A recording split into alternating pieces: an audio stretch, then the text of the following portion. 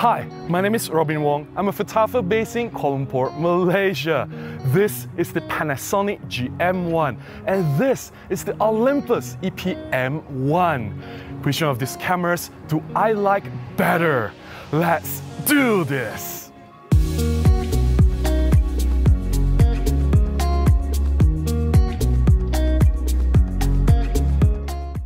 Been shooting more and more recently with smaller camera setup for my street photography. After all, these are the smallest available cameras for Micro Four Thirds system.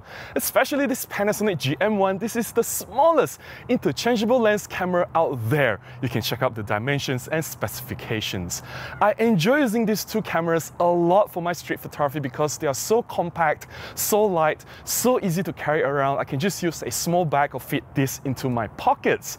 And they both perform really well, very fast autofocus, I can nail critical moments, and they deliver fantastic image quality, definitely more than enough for what I need to do. And I have plenty of fun shooting with these cameras. However, I also acknowledge that it is not fair to compare these two cameras because these are targeted towards different audience. The Olympus Pen Mini EPM1 was designed for entry-level beginners. It was the budget-friendly and the lowest level micro four thirds camera from Olympus, whereas the Panasonic GM1 was designed more on the premium side. It cost about almost twice as much as the EPM1 during launch, and the camera itself is also about two years apart. It was launched in 2013 when the Olympus EPM1 was launched in 2011. There is the gap in terms of technology update and imaging capabilities. I know if we keep going on about the differences, there really is no point to compare, but I want to do the comparison anyway because, hey, I think it is fun.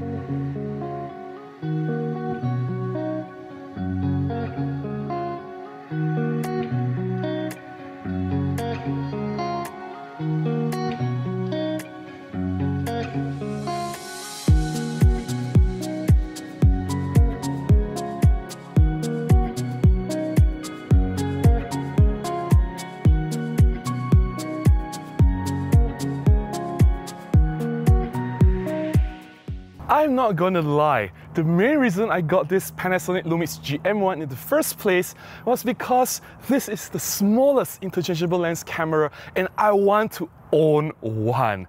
After all, this embodies what Micro Four Thirds should stand for. Something that is so small, so compact, and yet I can mount any of my Micro Four Thirds lenses on it and still achieve excellent results. I really love this Panasonic GM1, that is no secret if you follow any of my videos previously. I love that this camera is so well built. The body is made of metal construction. That is something that is an advantage on this GM1 versus the EPM1, which is made of plastic.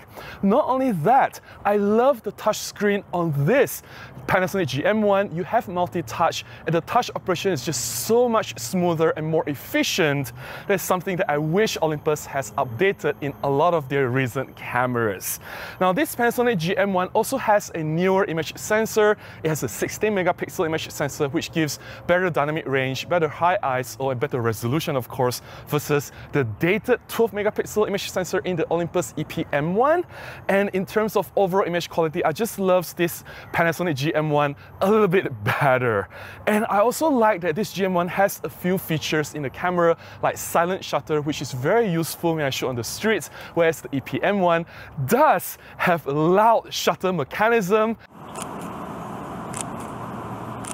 And sometimes you just need to be completely silent in where you're shooting street photography, right?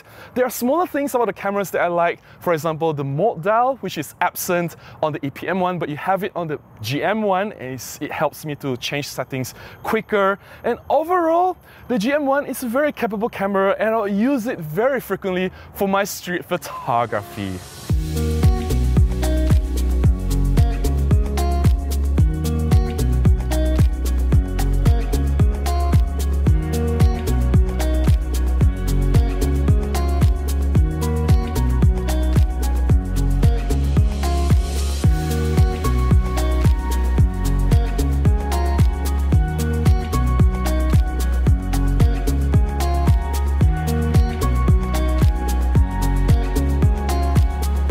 Are some things that I really like about this Olympus Pen Mini EPM1 versus the Panasonic GM1.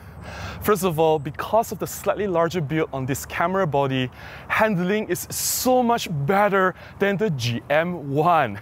There's just so much more area for the hands to grip. And then there is that thumb hook at the back of the camera with rubberized texture, and this allows for more secure gripping. Overall, handling is just so much better. I feel so much more secure using this EPM1 versus the GM1. Secondly, I really like the faster autofocus on this EPM1. The autofocus just feels slightly snappier. I know that the GM1 is not poor in autofocus, it is still fast and reliable. Like I said, I can use any of these cameras for street photography, nailing critical moments, no issue whatsoever. It just feels slightly faster on this EPM1 and slightly more confident. I also treasure the longer battery life on this Olympus EPM1. Just look at the size of the batteries. In estimate, I think the batteries on this EPM1 last about twice as long as the GM1. I find myself having to switch batteries on the GM1 a lot more frequently. And the EPM1 also allows you to attach an external viewfinder in case you're shooting on the streets under bright sun, especially here in Malaysia, and there's no such option available on the GM1. The EPM1 also comes with a built-in image stabilization in body. This benefits a lot of lenses that does not have image stabilization. Unfortunately, the image stabilization in my EPM1 is already broken. It doesn't function anymore. After all, this is an old camera. I got it in the used market. It doesn't really matter. I'm shooting under plenty of bright sunlight, so I can use very fast shutter speed. But hey, when it was launched, that image stabilization was also also an added advantage.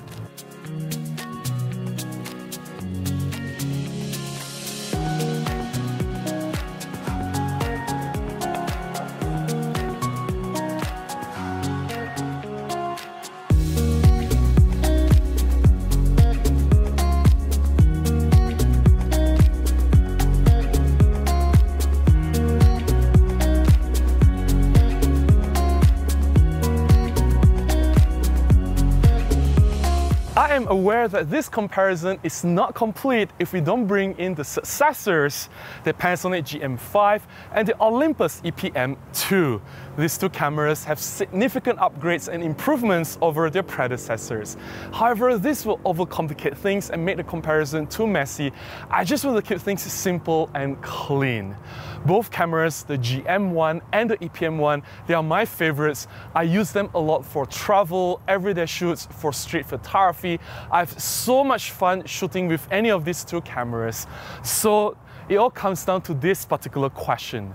Which one of these two cameras, if I have to pick, is my favorite? Which one do I prefer to shoot with? One or the other? There is no easy answer to that. Logically, if I were to look at things from the practical point of view, it will be the EPM1 because it has better handling. I'm more comfortable using the camera on my hands. It has slightly faster autofocus. I'm more confident in nailing the shot. And in terms of image quality, it is sufficient. It's more than good enough. I get fantastic results with it. However, the camera that I actually brought with me a lot more frequently is the Panasonic GM1. I have no logical explanation for that. Yes, image quality is better. It's, it has a newer 16 megapixel image sensor, but the form factor is just too small for comfortable handling. And I don't know, overall, it doesn't seem like a favorite material if I were to compare with the Olympus Pen Mini, but I still prefer to shoot with the Panasonic anyway. And I don't think I have to explain myself. I'm just here to tell you what my heart says. And my heart chooses the Panasonic GM1, which I've been shooting with more frequently. That's all I have to share about this Panasonic GM1 versus the Olympus Pen Mini, the EPM1. Which one of them is my favorite? You know the answer already. If you found my sharing beneficial or if you've enjoyed looking at my photographs, please consider buying me a cup of coffee or you can contribute directly to my PayPal, links in the description below on how you can do that. Any small contribution goes a long along. It'll definitely help me to continue making more content and publish them right here. Until the next one, please go out and take more photographs. Bye bye.